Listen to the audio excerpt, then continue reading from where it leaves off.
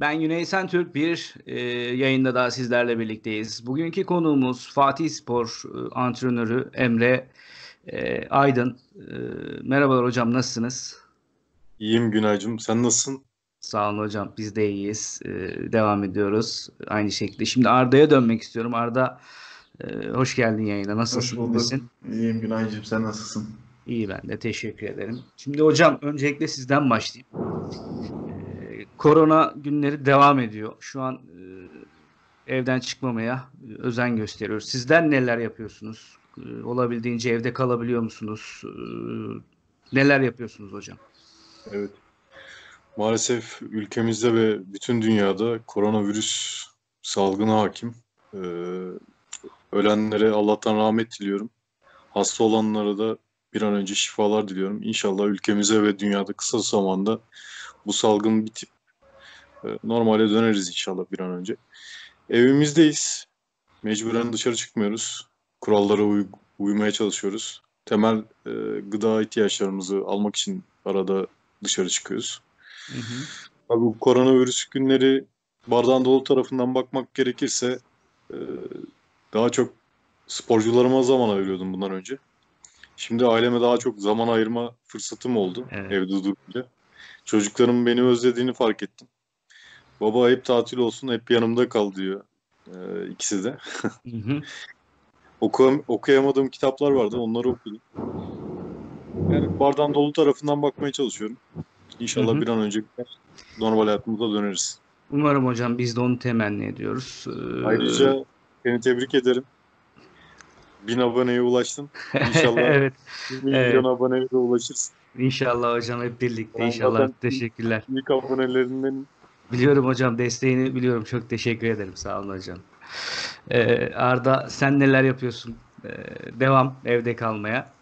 Devam ya Günay. İşte bizim de bu son e, bir aydır cumartesi pazarları bağlamaya başladılar. İş yerinde böyle bir e, önlem almaya başladılar. Biliyorsun fazla e, çok fazla çalışanı var. E, bunları da hani mecburen bu şekilde sistemli bir şekilde çalıştırmaya başladılar. Ya zor, çok zor. İnsan insani açıdan gerçekten bugünleri atlatmak çok zor. Hani şey diyoruz mesela sağlık için falan diye böyle kenara atıp sadece kendimizi izole etmeye falan çalışıyoruz ama o olmuyor. Evet. Yani ben, ben evde rahatım. Tamam bana bulaşma de, diyerek rahat edemiyorsun. Çünkü neden televizyona bakıyorsun her gün 80 kişi, 90 kişi, 100 kişi hayatını kaybediyor. Ve bu sayıları hani sadece sayıdan ibaret. Düşünsene 100, 100 tane eve ateş düşüyor. Yani evet. insanın gerçekten hiç kolay değil. Ve biz bunu bilerek yaşıyoruz. Her gün acaba bugün kaç kişi ölecek diye yaşıyoruz. Bu çok üzüyor insanları. Özellikle bizleri çok üzüyor çünkü gözümüzün önünde oluyor. Yani şu dönemde çok küçük bir çocuk olmak isterdim. En azından bu böyle dönemleri yani hatırlamazsın sadece oyunla geçer. Gerçekten bu akıl sağlığını insanların bizler belki koruyabiliyoruz ama koruyamayanlar için gerçekten çok zor evet. bir dönemdeyiz. Bir an evvel atlatırız umarım. Umarım biz de e, buradan ölenlere rahmet dileyelim. E, mekanları cennet olsun.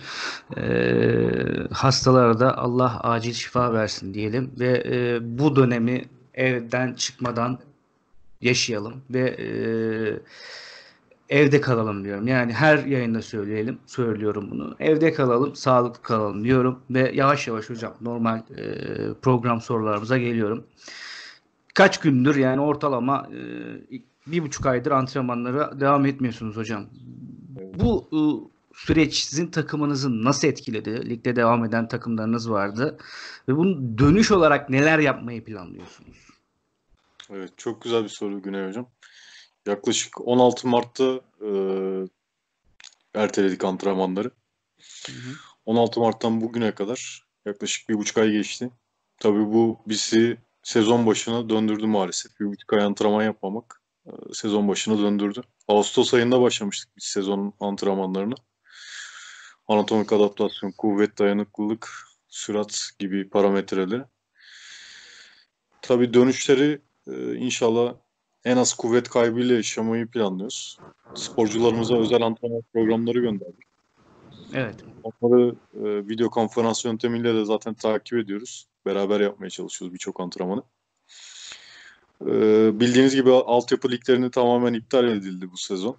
Ee, evet. U16'da şampiyon olmuştuk. U17 başlıyordu U13'te beraber. U17'de yine namalip şampiyon olmayı hedefliyorduk Edirne'de.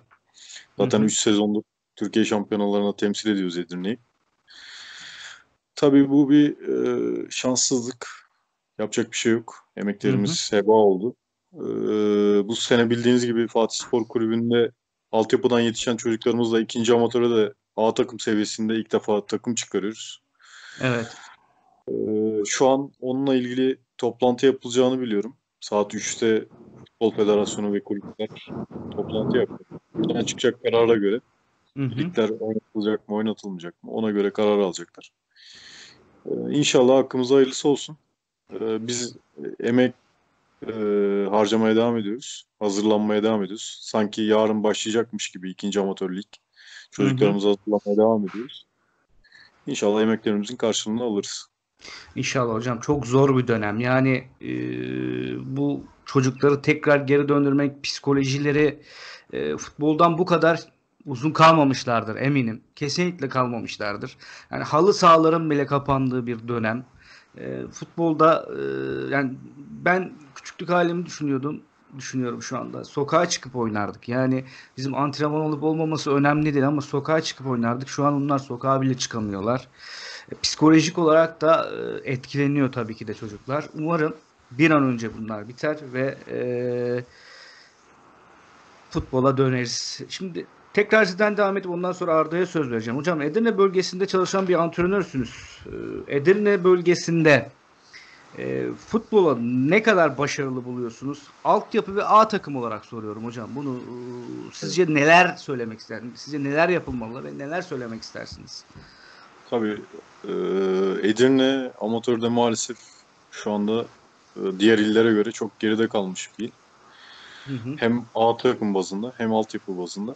Altyapıda örnek vermek gerekirse e, Bursa, Denizli, İstanbul e, ve birçok büyük şehirde altyapı liglerinde spo- e, takımlar yaklaşık 30 maça varan maçlar yapıyorlar ve kaliteli maçlar bunlar. Ligden çekilme gibi e, söz konusu şeyler az yaşanıyor o illerde. Edirne'de maalesef altyapılarda çok az takım var. Yani bir kategoride yaklaşık 10 takım oluyor. Bunların 2-3 tanesi ligler başlayınca ligden çekiliyorlar. Ee, bunu tabii defalarca dile getirdik. Futbol il temsilcisine anlattık. Ee, tek grup olsun. Daha fazla maç yapsın çocuklar.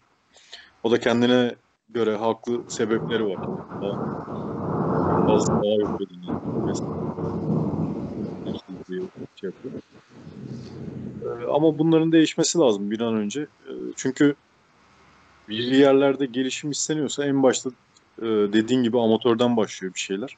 Hı hı. Amatörde gelişim olmazsa üst tarafta da olmaz. Bizim amacımız sporcu geliştirmek, sporcu yetiştirmek. Onun için de daha fazla kaliteli maç yapması lazım bu çocukların. Evet. A takıma gelince de e, zaten 6 sezondur yaklaşık Edirne Spor bölgesel amatör ligden e, profesyonel lige çıkmaya çalışıyor bildiğiniz gibi. Evet. Bunda 6 sezondur başaramadı maalesef. Tabii bunun bir birçok sebebi var. Konuşsak sabaha kadar konuşuruz bunları. Yani ciddi paralar da harcıyorlar hocam. Yani baktığımız zaman böyle azımsanacak bir para da harcanmıyor yani. A takımlardaki başarısızlığın sebebine gelirsek orada da tabii ki altyapıya e, geliyor iş dönüp dolaşıp. Altyapıdan e, sporcu yetiştiremezsen A takıma e, elin çocuklarına muhtaç olursun. Elin çocuklarına muhtaç olursan da bir sürü para harcarsın. Bir sürü para harcarsın. E, bunun devamlılığı olmadığı için de her sene bir buçuk takım yaparsın. Bir buçuk takım yapınca da başarı gelmez. Doğru. Yani Evet. sürekli bir devamlılık olması lazım ki, istikrar olması lazım ki başarının gelmesi lazım. Bir 5 sene sabredeceksin altyapıdan çıkan çocuklarına. Onlar gelişip seni zaten belli basamaklara getirecektir. Hocam şimdi şunu da söyleyelim. Yani bir e, ilin futbolda gelişmesi için önce bir ilden profesyonel takım çıkması gerekiyor. Benim düşüncem bu. Bir de e, o profesyonel takımı destekleyecek kaliteli amatörlerin olması gerekiyor. Evet. Şimdi Edirne'de kaliteli amatör takım bakıyoruz. Var evet ama çok az var.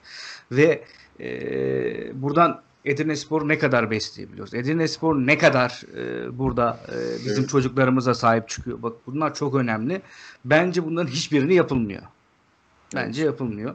Umarım bir an önce e, istediğimiz düzeye gelir hocam. Şimdi Arda e, sana dönmek istiyorum. Sen de Tekirdağ'da oturuyorsun. Yani e, Trakya bölgesinde.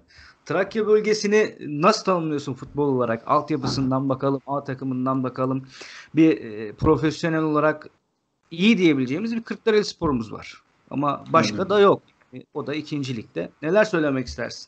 Trakya Ya şimdi öncelikle ben bir Tekirdağ Spor taraftarıyım ama ondan önce ya büyük resme bakmak gerekiyor. Şimdi Trakya e, Türkiye'nin ekonomi olarak gerçekten çok üst düzey bir yerinde değil mi? Yani İstanbul falan bu Ankara, İzmir onları dışarı koyduğumuz zaman 4. 5. sırada ve baktığımız zaman Süper Lig'e hiç daha takımımız yok. Evet. Yani öncelikle bir de burada kültürel bir e, sosyal bir açıdan baktığımız zaman da bizim insanımızın böyle futbolla bilmem ne işi yok aslında ya. Bak gerçekten şu statlara falan gidin gitmiyor kimse. Gerçekten bak hani bizim taraftarlığımız yok. Bu bölgenin yani insanı için söylüyorum. Futbolu böyle çok üçüncü, dördüncü herkesin işi fabrikada çalışmak. Git, git sen fabrika yani fabrikada çalışan adam için çok düzgün bir adam rolünde bakıyor herkes. Hani ikinci, üçüncü mesleği yapmaya çalışan insanlar için yani çok böyle üniversite okuyup böyle ekstrem bir şey meslek edinme dışında futbolu mesela ya da sporu bunun bir meslek dalı olarak görmüyorlar. Hiçbir şekilde görmüyorlar. Yani düşünsenize ben çıkacağım şimdi teknik direktör olacağım. Ya diyecekler ki sen sen ne yapacaksın ya teknik direktör olup? İş mi bulacaksın diyorlar. Yani işin direkt o kısmındalar. işin para boyutundalar. Yani ülkeye sporun e, spora destek verecek, sporu bir yerlere getirecek bir atılım yapmaya peşine değil kimse. Benim şu an bulunduğum ilçede bir e, şey vardı, amatör bir ilçemin yani takımı var ama bir de amatörü vardı bir tane. İpta, şey oldu, iflas etti. Neden? Parasızlıktan. Bir şeyler, bir sürü dedikodular da dolandı tabii ama bununla ilgili para aklandı falan filan diye ama sonuç, sonuç itibariyle bir sürü çocuğun hayali mahvoldu. 40 tane yakın çocuk o, o amatördü, top oynuyordu.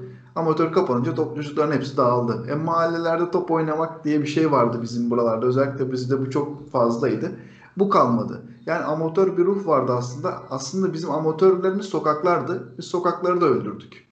Ne yaptık? Çıkmayın sokağa. Boş verin futbolu. İşte boş verin. Gidin okuyun falan. Ya tamam okusun. Okulda önemli. Çok çok önemli. Üniversite hayatı bunlar lise hayatı çok çok önemli. Ama futbolun, sporun da ne kadar güzel bir şey olduğunu ailelerin ben bilinçlendirmediğini düşünüyorum çocuklara. Uzak tutuyorlar. Futboldan, spordan ya ne yapacaksın futbola, holigan mı olacaksın başımıza kafaları var. Bizim bu bölgemizde bu hakim gerçekten ben bunu süze süze artık e, tecrübe edindim. Böyle bu kafada insanlar çok. Mesela Tekirdağ Spor'un e, en çok kaldığı 3. lig. 31 sezon falan kaldı galiba. İkinci ligde de kaldı. 9 sezonda ikinci ligde kaldı. E, bölgesel amatörlükte, amatörde bir de üçüncü ligde birer şampiyonluğu var. Şu an bölgesel amatörde. Mesela o potansiyel var. Tekirdağ dediğimiz yani boş değil. Çorlu sporumuz var. Bunlar boş takımlar değil. Kırklareli spor var. Bunun bizim taraftarlarımız hınca hınç doldurması gerekiyor. Süper Lig'e bizim takım çıkarmamız gerekiyordu şimdiye kadar. Ya düşünsenize biz e, İstanbul'un en yakın yani Türkiye'nin yani göz bebeği gibi bir yerdeyiz ve buraya burası futbol kenti olamıyor. Evet. Neden? Çünkü biz o kadar fabrikasyon bir hayat yaşıyoruz ki bizim sporla işimiz yok. Ya düşünsenize Van Spor ya senelerce Süper Lig'de kaldı. Erzurum Spor bak keza öyle. Yani Türkiye'nin öbür ucunda bunlar. Seyahat anlamında da spor aktivite anlamında da çok çok uzaklar mesela şey merkeze. Futbolun merkezi Marmara bölgesi değil mi? Baktığınız zaman. Evet. Ama yani merkezden bir o kadar da uzağız yani bir Van, Van kadar uzağız biz mevzuya. Yani Evet. önce Tra- Trakya'nın spora ve futbolu sevmesi lazım. Sevmiyor bence. Yani tam yani bir yorum yapmaya gerekirse futbolu Trakya'nın önce sevmesi diye yapabiliriz. Evet. Şimdi hocam e, tekrardan size döneceğim. E, şimdi bence e, futbolun mutfağı amatör. Yani amatör olmadan bir kere futbol olmaz. Ben bu bunu düşünüyorum. Hem amatör hem altyapı. E, bizim ülkemizin amatörü ne kadar gelişmiş olursa veya altyapısı bir ülkenin bence Süper Lig'deki seviyeler veya işte profesyonel e, takımlar bir o kadar gelişecektir. E, bir antrenör olarak yani bu ülkedeki amatör futbol ve altyapı futbolunu nasıl değerlendiriyorsunuz? Ee, Önce soruya geçmeden önce Arda arkadaşımız e, kendi düşüncelerini belirtti. Orada katıldığım, katılmadığım yerler var. Ee, hı. Trakya'da e, insanlar futbolu seviyor bence. Edirnespor'un maçları kapalı gişe devam etti. Ben takip ettim. Ee, Hı hı. Kaç sezon? 6 sezondur. Diğer illerde de Kırklareli'nin maçlarının birkaçına gitmiştim mesela. Orada da aynı şekilde kapalı gişe takip ediyor insanlar. Bence Trakya'da insanlar futbolu seviyor. Futbolu benimsiyorlar.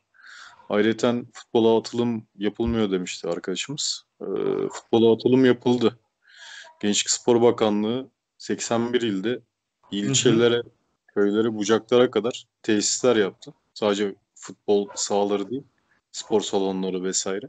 Hı hı. Ve hala da desteklemeye devam ediyor. Amatör kulüpleri, amatör şubeleri. İnşallah e, daha iyilerini de yapacaktır. İnşallah Daha inşallah hocam. Yani, hocam çok geç kaldı. Ben onu demeye çalışıyorum. Yani değil mi? Sene 2020 yani o kadar sene geçmiş üzerinden ne bileyim bana sanki biraz geç kaldık bu işin. Yani 2006'dan itibaren başladı Tabii. yatırımlar. Ya bizim de burada 2020'ye statlar falan düzeltildi evet. Evet, 2020'ye kadar tesisleşmeyi bitirdiler. Yani 2020'ye kadar yapılan tesisleşme muhteşem bir rekor Evet. yani Gençlik Spor Bakanlığı'nın. Ve ben Edirne'de bakıyorum birçok ilde Gençlik Spor Bakanlığı'nın bu kadar tesisi yok mesela. Hı hı. Belediye ağırlıklı genelde oluyor diğer illerde. Ee, Gençlik Spor Bakanlığı buraya muhteşem tesisler yaptı. Yani güzel yatırımlar var.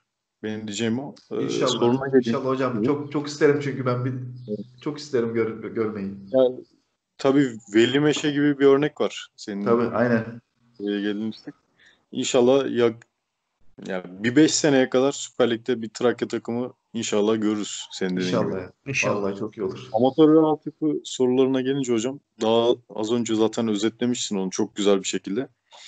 Amatör olmadan profesyonel olmaz. Altyapı olmadan profesyonel olmaz. Ee, bir ülkenin amatörü, altyapısı ne kadar iyiyse profesyonelde o kadar iyidir. Gördüğünüz gibi zaten 14 yabancı kuralı geldikten sonra ülkemiz e, yani yabancı çöplüğüne çevrildi. Birçok kalitesiz yabancı Süper Lig kulüplerinde Alman 3. Lig topçuları atıyorum Zimbabwe'den, Nijerya'dan hiç tanımadığımız kalitesi belli olmayan futbolcular Süper Lig'de anılmaya başlandı. Altyapımızdan yetişen topçular, futbolcular inanın onlardan kat ve kat daha yetenekli. Yeter ki onlara bir fırsat verilsin ve tecrübe kazansın bu çocuklar. Evet. O çocuklara sabredersek bir yerlere gelirler ve ülke futbolunda bir yerlere taşırlar. Yani Yusuf Yazı çıktı. Ondan sonra Ozan Kabak, Merit Demiral. Evet. Yani bunlar futbolcu ihraç etmeye başladık aslında işin içine bak özüne Evet. bakarsak. Almanya yanlış hatırlamıyorsam 2014 Dünya Kupası mıydı? 2010 Dünya Kupası. 2010 Dünya Kupası'ndan sonra Joachim Löw açıklama yaptı. Bu şampiyonluğu ben kazanmadım dedi. Bu şampiyonluğu amatörde antrenörlük yapan, altyapılarda antrenörlük yapan hocalar kazandı dedi. Onların Evet, sayesinde. Dünya Kupası'nı kazandık dedi. Yani kısadan ise amatör ne kadar kaliteliyse, altyapı ne kadar kaliteliyse, ne kadar değer veriliyorsa o kadar ileriye gideriz diye düşünüyorum. Evet. Ama helal olsun yani. O hakkı vermesi, orada söylemiş olması müthiş. Evet Arda sen şunda, şuna değinelim sen de. 14 yabancı sence ülkemiz için çok fazla mı? Ya 14 yabancı aslında fazla değil de Günay. 14 e, yabancının kullanılması yanlış.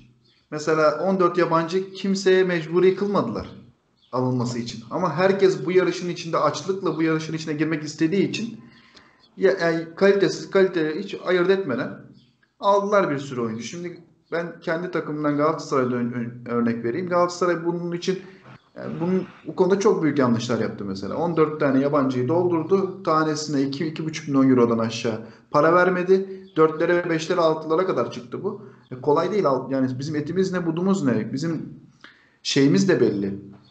Ee, döviz kurlarımız da belli. Ya Biz ne kazanıyoruz ki o adamlara o kadar vermeye çalışıyoruz? Bizim ilk 11'inde yani Türk şeyinde e, Türkiye genelinde en top takım bile olmuş olsa Galatasaray, Fenerbahçe, Beşiktaş, Trabzon, Başakşehir bile olmuş olsa maksimum 11'inde 4 tane 5 tane oyuncu olacak yabancı bence. Bunların da yıllıkları işte 2, iki, buçuk en fazla hani 3 olsun. O da yıldız yıldıza yakın bir oyuncuysa 3 olabilir. Yani ondan fazlası artık batağa sürükler. Zaten öyle.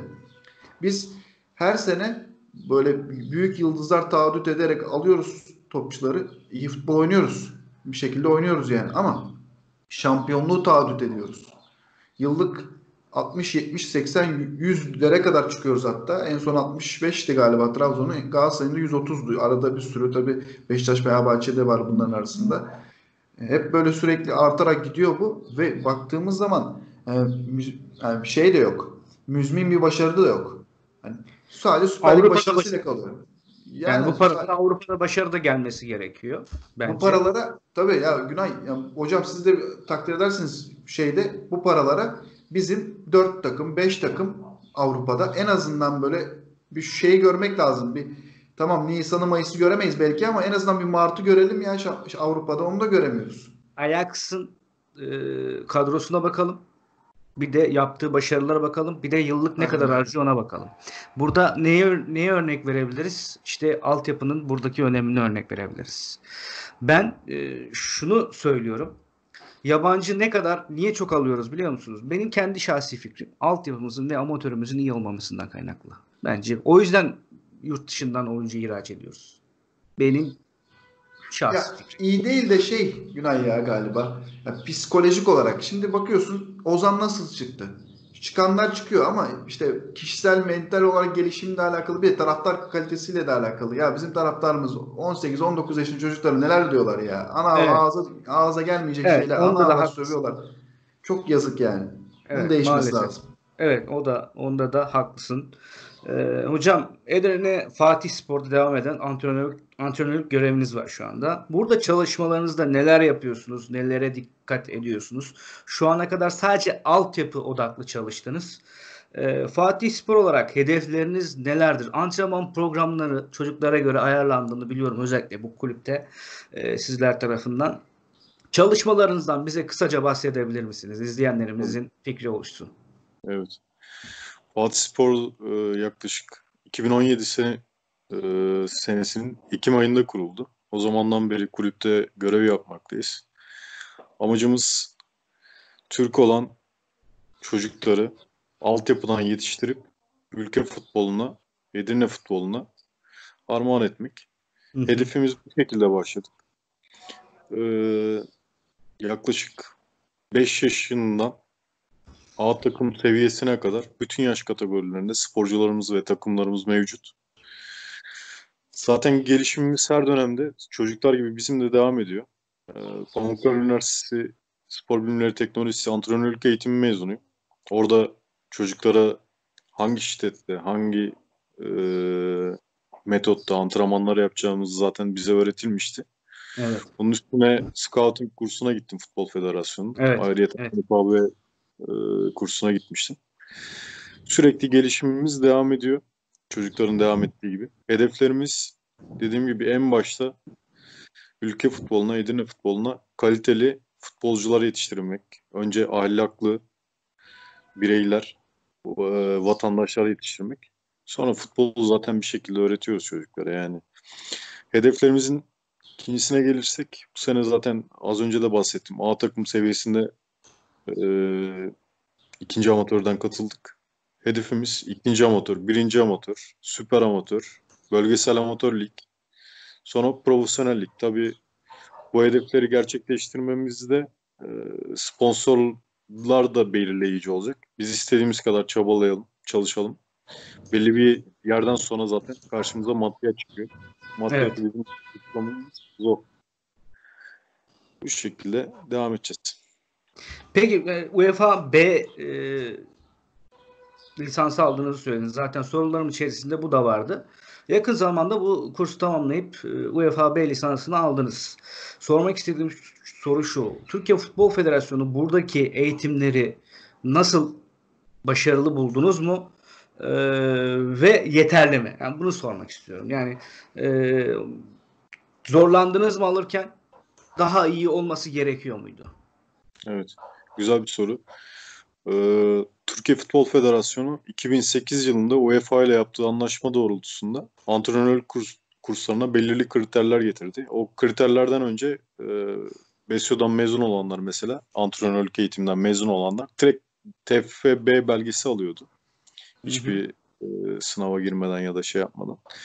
Tabii ben e, 2010 mezun olduğum için bana vurdu. Benden önceki mezun olan arkadaşlarım TFB alırken ben TFC aldım.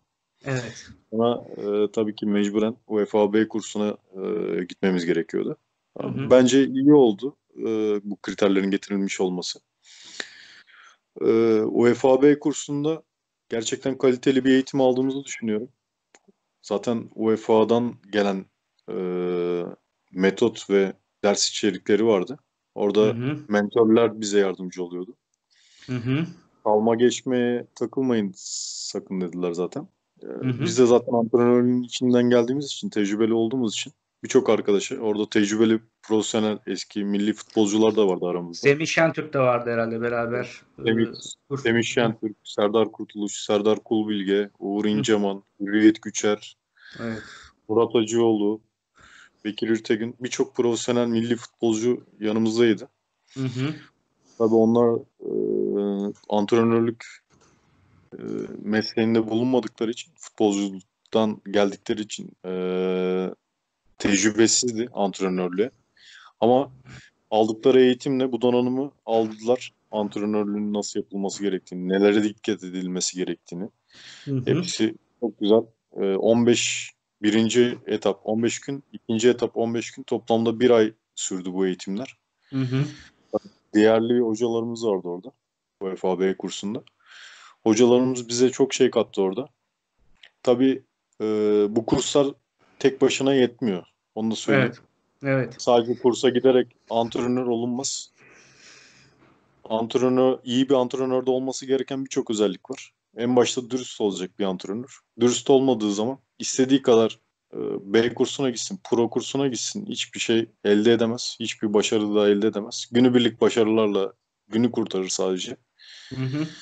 Birçok e, tecrübe yaşaması gerekiyor. En al- alt liglerden başlayıp özellikle altını çiziyorum. En alt liglerden başlayıp en üst kademeye kadar gelene kadar birçok tecrübe yaşaması lazım ki bu kursların yanında doldurması lazım iyi bir antrenör olabilmesi için.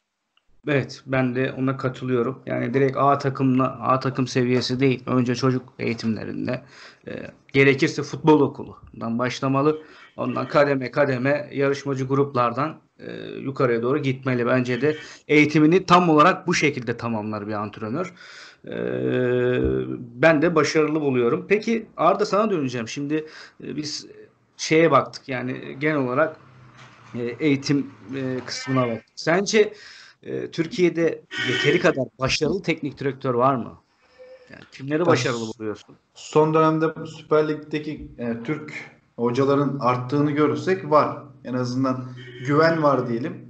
Başarı da doğru orantıda vardır ama şu var ya beni mutlu eden o. E, hocalara, Türk hocalara daha fazla güven, yabancılardan ziyade Türk hocalara güvenip takım emanet etmeleri Süper Lig'de bu bir şeylerin artık yoluna girdiğini gösterir.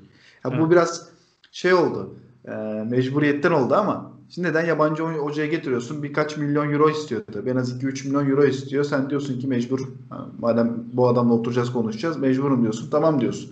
Ama şimdi Türk bir şey teknik direktörü getirdiğiniz zaman anlaşabiliyorsunuz. Daha makul şartlarda anlaşabiliyorsunuz. Profesyonelliği biraz ikinci plan atabiliyorsunuz. Sonuçta aynı memleketin insanları insanları izliyorsunuz. Bir şekilde anlaşabiliyorsunuz. Onun tabii emeğinin karşılığını vermek şartıyla anlaşıyorsunuz.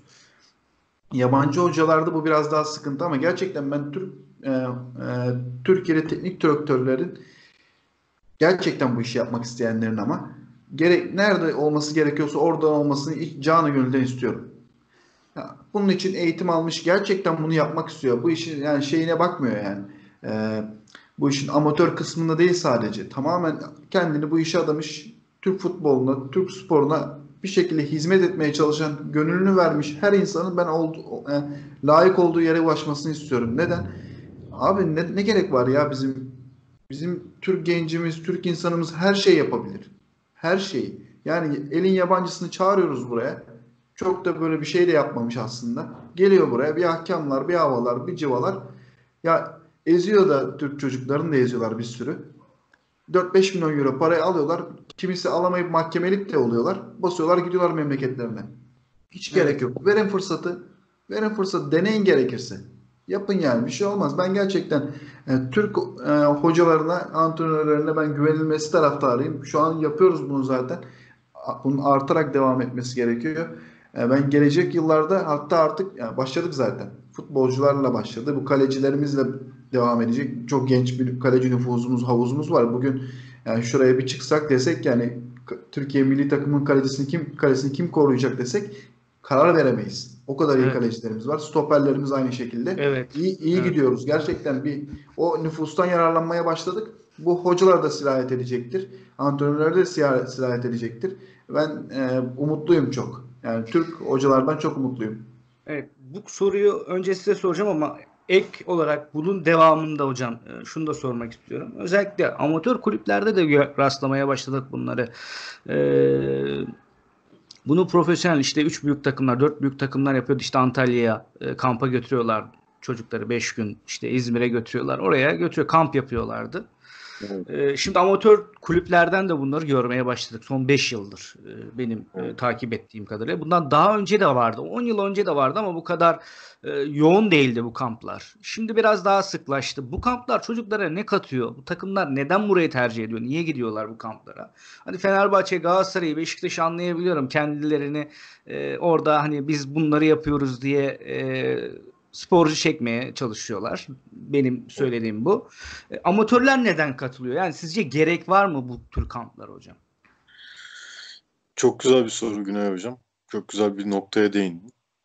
Amatör kulüpler e, bahsettiğin gibi kamplara gidiyorlar. Bu süt kupaları diyorum ben onlara. Süt kupalarına gidiyorlar bazıları. E, amaç tamamen işte çocuğun aklını çelip bir para tuzağının içine sürüklemek veliyi. Yani o kamplara gidiyorlar. 3 gün 4 gece diyor işte. Kaç? Bir buçuk 1500 TL ailesinden ücret istiyorlar ya da günü e, gün başına 300 lira mı 400 lira mı ne ücret istiyorlar. Servis ücretini ayrı istiyorlar falan filan. Yani ben bunları hepsini para tuzağı olarak görüyorum.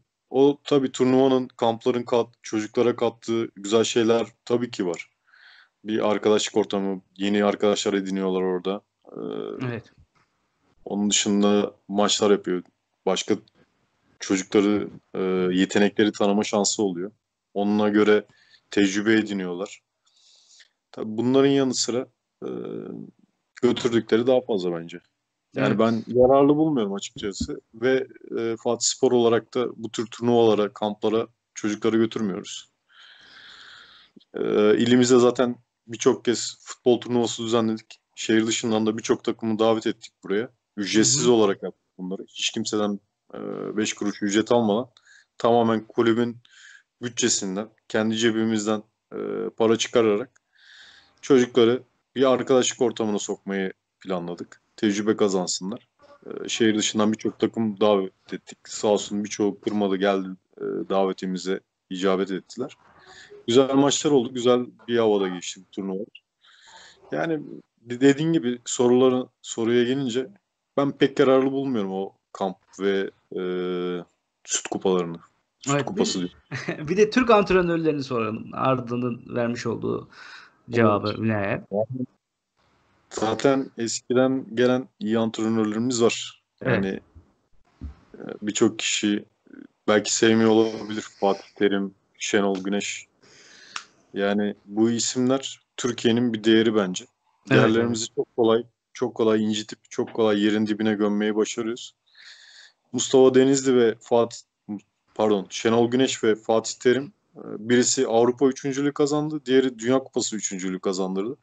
İnşallah onlardan sonra gelecekler de hem Dünya Kupası şampiyonluğunu hem Avrupa şampiyonluğunu getirirler. Ben ümitliyim. Umarım. Çok iyi antrenörleri yetişiyor. Abdullah Avcı e, ardından geliyor zaten. E, onun ardından Okan Erol Buruk, Bulut, Okan Buruk. Okan Buruk, Erol Bulut, Tayfun Korkut. Yani Evet. birçok aklımıza şu anda gelmeyen genç, Türkiye'den yetişen kendini iyi yetiştirmiş. Sadece iyi futbolculukla kalmamış. Ya da futbolculuğun içinden gelmeyenler de var iyi antrenör olup. Yani iyi e, iyi bir antrenör, iyi bir futbolcu olmasına da gerek yok. Onu da söyleyeyim. Evet Ee, evet. e, zaten Almanya'da bunun bir örneği var. Salzburg'da. Evet. Yani Evet hocam. Leipzig, Leipzig'te, Leipzig. pardon. Leipzig evet. Salzburg demişim. Leipzig'te çok güzel bir örneği var. Daha 30 32 yaşındaydı herhalde. 32 yaşında. Ee, Şampiyonlar Ligi'nde ee, yani finali görecek yakında yani. Evet hocam Evet. haklısınız. Şimdi son soru. Sonra yavaş yavaş kapatacağız hocam. Ee, profesyonel takımların amatör takımlara e, yaklaşımı nasıl oluyor hocam? Şimdi mesela profesyonel takım dediğim bütün hepsini kapsayabilir. İşte Altın Ordusu'nu katabiliriz. Fenerbahçe, Beşiktaş, e, Galatasaray, Trabzonspor, işte Elazığspor yani bütün profesyonel takımlardan bahsediyorum. E, sizde oyuncu sormak sor- sorduklarında nasıl bir yaklaşım oluyor? Ve e, oyuncuyu yani futbolcuyu alırken şartları siz oluşturabiliyor musunuz? Yani Evet. mesela her şeyin bir bedeli var. Siz de o oyuncuya emek harcamışsınız yıllarca. Bunun bir bedeli olması lazım. Nasıl ki siz yurt dışından bir tane futbolcu aldığınız zaman siz bonservis veriyorsunuz. E, Buradan da bir çocuk alırken tabii ki de bunun bir bedeli olmalı. Bunun yaklaşımı nasıl oluyor? Evet. Ama profesyonel takımların. E, aynı zamanda Türkiye'yi iyi tanıdıklarını düşünüyor musunuz? Scouting olarak. Ya scouting olarak Türkiye'de tek bir kulüp tanıyorum. O da Altınordu. Yani Altınordu e, bu işi artık Avrupa standartlarında, dünya standartlarında yapmaya başladı. Diğer kulüplerin e, tabii ki var scouting ekibi. E, başarılı ekipleri de var mesela. Tanıdığım arkadaşlarım da var. Dört büyüklerde e, görev yapan scouting olarak. Ama Altınordu yani zirvede diye düşünüyorum şu anda. Hı hı. Bunun yanında dört büyüklerde de iyi kadro, iyi ekipler var. Fenerbahçe son olarak Serhat Pekmezci'yi getirdikten sonra e, orada e, bayağı bir şahlandı altyapıda. Scouting açısından hem altyapı açısından bayağı şahlandı. Önceden Galatasaray'da Emrah e, Bayraktar vardı. Bayraktar. Evet. Emrah Bayraktar döneminde zaten bu Ozan Kabak vesaire diğer e, altyapıdan iyi yetişen futbolcular çıkmaya başladı. Bir zamanlar Beşiktaş'ta da görev aldı zaten Emrah Bayraktar. Evet. İyi oyuncuları o yetiştiriyor yani Arda Turan'ı da zamanında o yetiştirdi. Ee, onun döneminde 10. jenerasyonunda çıkan iyi oyuncular vardı. Yani dört büyüklerde zaman zaman iyi uygulanıyor diyeyim. Öyle diyeyim. Evet. Ama Altınordu'da sürekli gelen, gelen bir e, sistem var. Başkanları çok güzel belirlemiş zaten. Yani hedefimiz şu, şu, şu diye. Diğer Anadolu kulüplerinden Konyaspor bir atağa kalktı son dönemlerde. Hı hı. Yani Altınordu'dan sonra belki gelebilecek en iyi altyapılardan bir tanesi. Konyaspor'u çoğu kişi belki hayal bile edemezdi o seviyede olacağını. Şu an 81 ilde e, tarama yapan ekipleri var. Bursa Spor'un aynı şekilde. Bursa Evet. Spor'a da e, Aykut, Aykut Turan'ı Aykut Turan geçti diye biliyorum ben. Altyapıda yani o da bir atağa kalktı. Tabii bunun dışında e, maalesef istemediğimiz yani tasvip etmediğimiz şeyler de oluyor Süper Lig kulüplerinden. İsim vermeyeceğim. Bazıları Edirne'ye seçmeye geliyoruz diyorlar. Çocukların e, umut tacirliği yapıyorlar. Öyle söyleyeyim.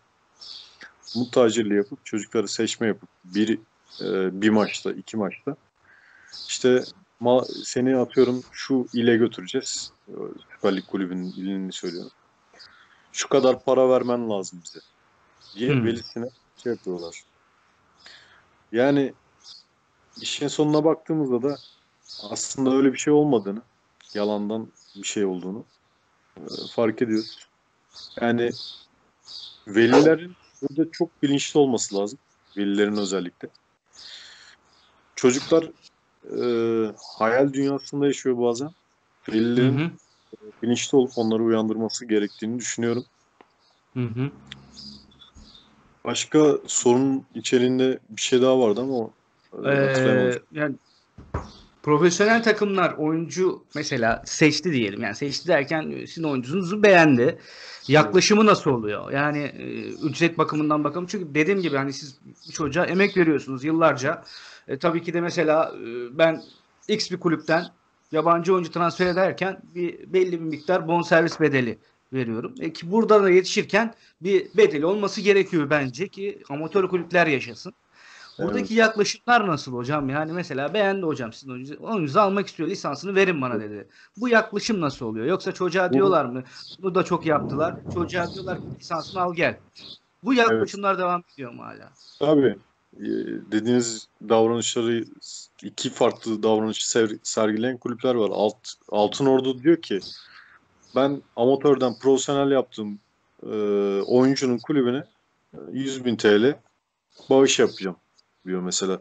Amacı sadece kendini kalkındırmak değil, o topçuyu yetiştiren amatör kulübü de kalkındırmayı istiyor. Çok çok güzel hareket. Yani dört büyüklerde tabii ki bunun emeklerinin, amatör kulüplerin emeklerini e, bir nebze olsun verdiklerini e, biliyorum. Duy- duydum, kulağıma da geldi zaten. Çok yetiştiren arkadaşlar. Onun dışında dediğiniz gibi ikinci davranış modeli var. Lisansını al, gel Evet. davranış modeli. Birçoğu da bu şekilde yürütmeye çalışıyorlar. Tabii altyapı olduğu için en az parayı oraya harcayayım. Belli bir emek harcamadan, şey yapmadan bir yerlere geleyim diye hedefleyen kulüpler de var.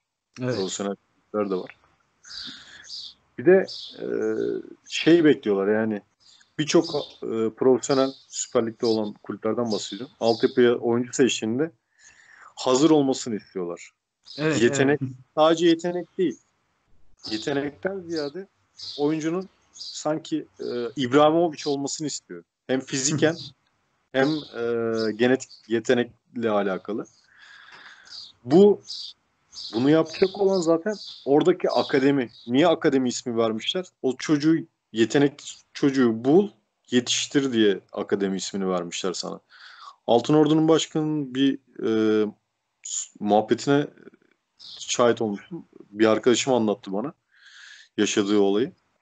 Burada Edirne'de yerel bir kulübümüz, amatör kulübümüz o, oyuncusunu transfer ettiler Altınordu'ya. Ee, bir hazırlık maçı oluyor. 2007 doğumlu bir çocuk, sağ bek. Hı hı. Maçta oynuyor. Edirne'de kulüp oyuncusu. Hı hı. Ee, Altınordu'da hazırlık maçına çıkıyor. Orada da tabii o sıra başkan denk geliyor o maçı izlemek için oturuyor orada.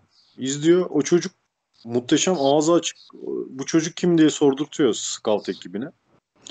Ya işte şu adını söylüyorlar işte şu kulüpte oynadığını, şu, doğumlu vesaire falan filan. Bu çocuğu aldık mı diye soruyor. Hayır efendim e, izlemeye devam ediyoruz onu diyor. Niye izlemeye devam ediyoruz diyor. Ya işte şu özellikleri eksik, şu şu şu özellikleri eksik. O yüzden e, beklemedeyiz. Gelişmesini bekliyoruz o özelliklerin diyor. Altınordu'nun başkanı da diyor ki ben size o zaman boşuna mı para harcıyorum burada? Bizim adımız niye akademi? diyor. O çocuğu transfer ediyor. Evet. Bu çok güzel bir örnektir. Bütün Çok güzel. Evet. Türklere örnek olması gereken bir davranıştır, harekettir.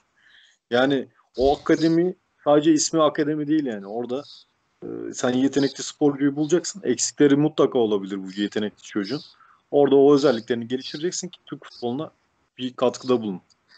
Hocam Doğru. benim benim bir anım var. İstanbul'da süper amatör takımda çalışıyorum. İsim vermeyeyim. Ee, isim çıkmasın belki izlerler. Ee, sonra şey olmayalım. Bir telefon çaldı. Arayan üç büyüklerden bir tanesi. Ben zaten biliyorsunuz kaleci antrenörüyüm. Ya sende böyle bir kaleci varmış. Çocuk o zaman 13 yaşında boyu 1.82. Şey falan değil. normal kemik yaşı gerçekten böyle. Fena da değil. Hani böyle e, uç, uçmuyor, kaçmıyor ama belli bir yeteneği var.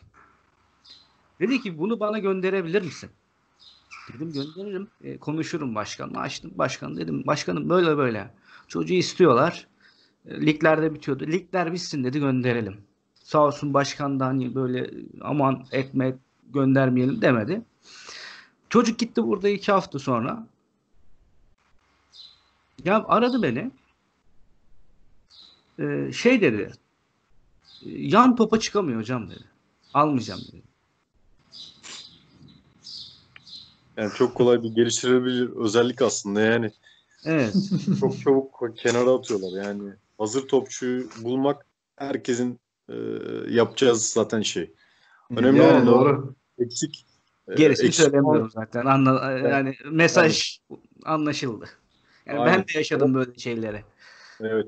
O eksik olan öz- önemli olan o eksik olan özelliklerini orada geliştirip o seviyede oynatabilmek zaten. Yani Evet. muhakkak. Yoksa diğerini hepsi herkes yapar zaten. Armut bir şey ağzıma düş olacaksa bu işi zaten o siz niye yapıyorsunuz orada? Doğru. Evet, Arda sen ne düşünüyorsun? Kısaca senden alalım e, fikrini. Bu scoutingle alakalı, e, oyuncu Ya- transferlerle alakalı. Günay aslında ben şöyle düşünüyorum. Ya bilmiyorum siz ne diyorsunuz ama biz az para harcayıp her şeyin en iyisine sahip olmak istiyoruz. Anladığım kadarıyla bizde böyle bir şey var. Ee, herhalde 4 3 büyük 4 büyük şampiyon kulüp hakkında konuşmak gerekirse yani şimdi bunların önünde kocaman bütçeleri var değil mi? Hadi tamam amatörleri, profesyonel alt liglerdeki takımları onlara bir şey diyemiyorum. Çünkü onlar kendileri kaşığı ne kadarsa o kadar yemek zorunda ama ya büyük takımların istedikleri kadar imkanları var. Ya yurt dışında bir sürü ülkeye gezip de oyuncu arayacağınızda önce kendi ülkenizde bir karış karış gezin bakalım. Mesela Al- Al- Altın Ordu örneği çok basit. Böyle yüzlerce çocuk var belki harcanan. Bir tane yetmiyor ama. İşte bir tane Ya tabii yetmiyor. ki. Çoğaltmak lazım. Yüz yapmak lazım bunu. Herkesin Herhalde. yapması lazım. Herkesin yapması lazım. Yani bunu herkes yaparsa biz zaten dışa bağlı yaşamayı bırakırız. Hocam Yani- yani, şunu da söyleyelim. Tekrar bu, bu konu üzerinden tartışalım. Arda sen devam edersin. Yani bir benim benim anlatmak istediğim ve yani söylemek istediğim ve olması gereken şöyle olmalı. Yani mesela bir takım bir oyuncu arayacağı zaman önce altyapısına bakması lazım ya. Bizde öyle bir şey Tabii. yok. Arda sen Doğru, devam çok et. doğru. Bakmıyoruz yani. En son Bak- çare.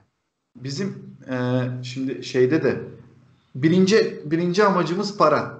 Yani biz bunun maddi geliri ne olur? Ya para bu kadar önemliyse tamam işte sen de ayağını yorganına göre tut- uzat işte. Önce ülkendeki genç çocukları bul. Bölge bölge sor, bölge sorumluları yap. Biz daha önce bunu konuşmuştuk yayınlarda da zaten. Bölge sorumluları olsun. Tamam. Yani her ilde ve ilçede zaten onların kendi kulüpleri vardır. Spor okulları vardır büyük kulüplerin ama Bunun bölge bölge bölge yönetilsin. Yani her her bölgede 2-3 tane nokta oluşturulsun. Şubeleri oluşturulsun. Genç oyuncuların aranması, taranması sürekli bunlar tek kişide birleşmesin. Bir ekip oluşturulsun.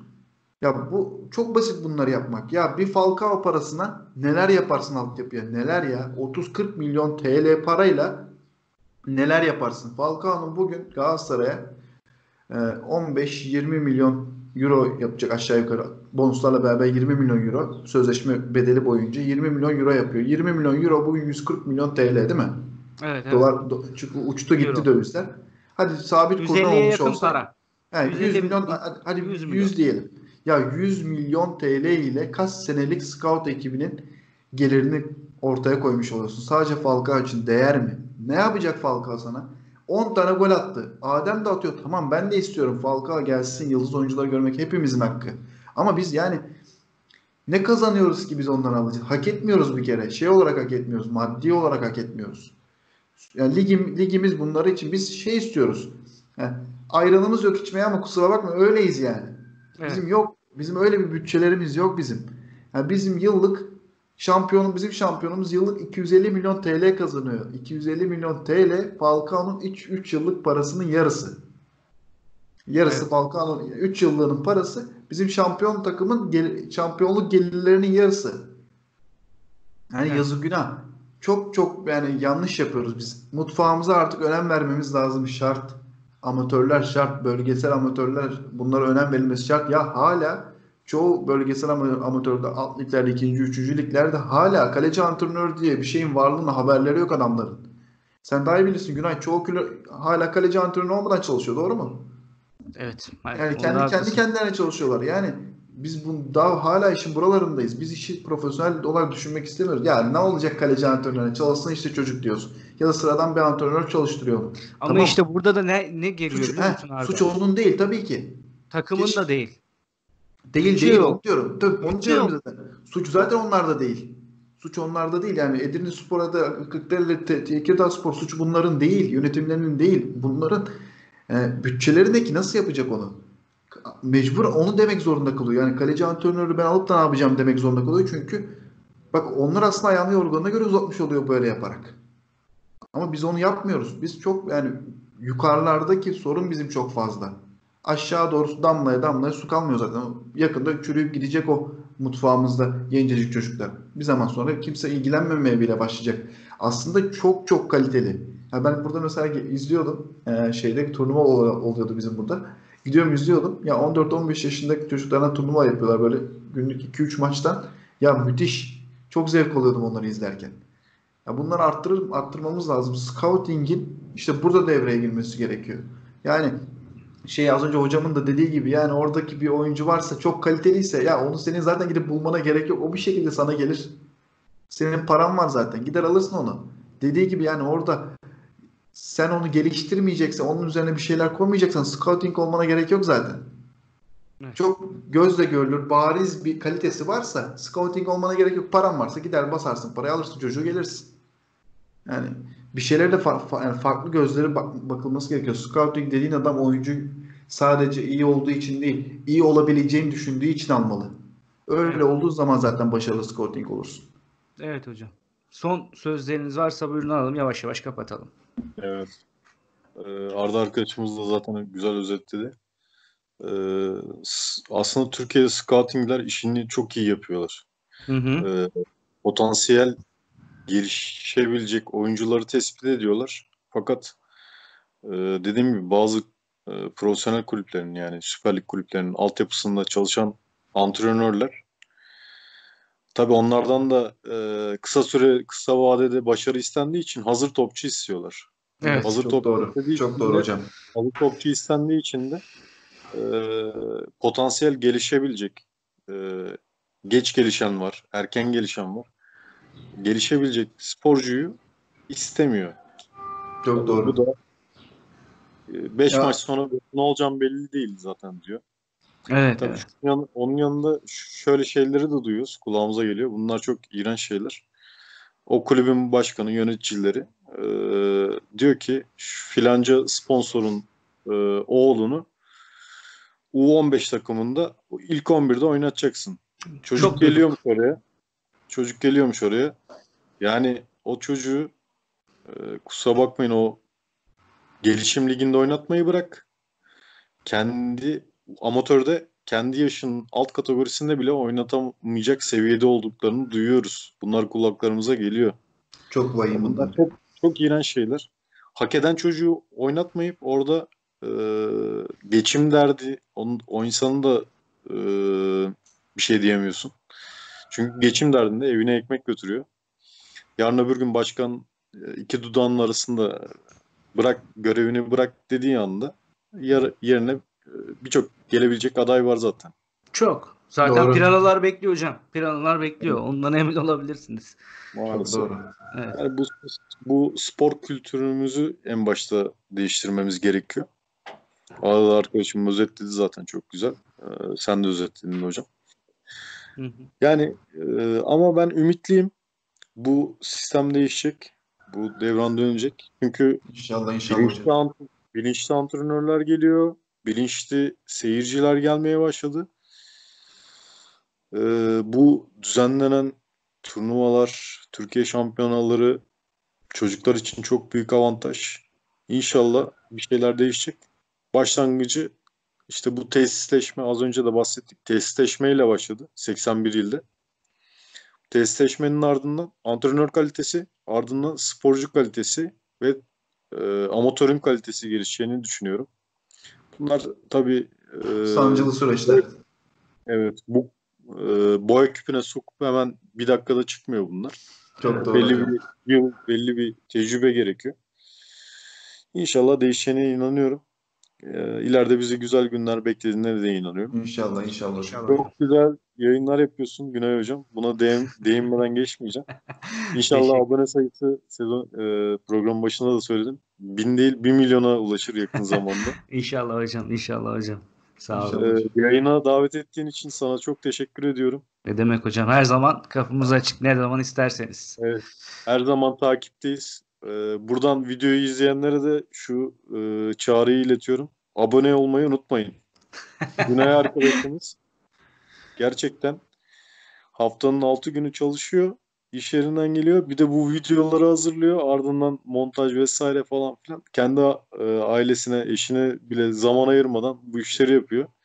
Siz de bir abone olmayı çok görmeyin bence.